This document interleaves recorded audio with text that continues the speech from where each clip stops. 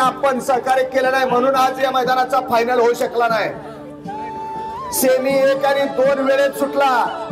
राहिलेले सगळ्या सेमीना वेळ लागला त्यामुळे मैदानाचा फायनल होऊ शकला नाही. केवळ कारणीभूत शंभर टक्के बैलगाडी मालक आहे. कुठल्याही बाजून आपण सहकार्य करत नाही. आणि राहिलेले सेमी आता आठ नऊ दहा आणि फायनल उद्या सकाळी नऊ वाजता जे हजर राहणार आहेत. त्याचाच विचार फक्त केला जाईल. अन्यथा जो हजर राहणार नाही. आहे. त्याचा विचार केला जाणार नाही. राहिलेले तीन शेणे आणि फायनल उद्या सकाळी नऊ वाजता या ठिकाणी सगळ्यांनी उपस्थित राहा. गाडी मालक ज्यांना सहकार्य करायचे त्यांनीच मैदानात या.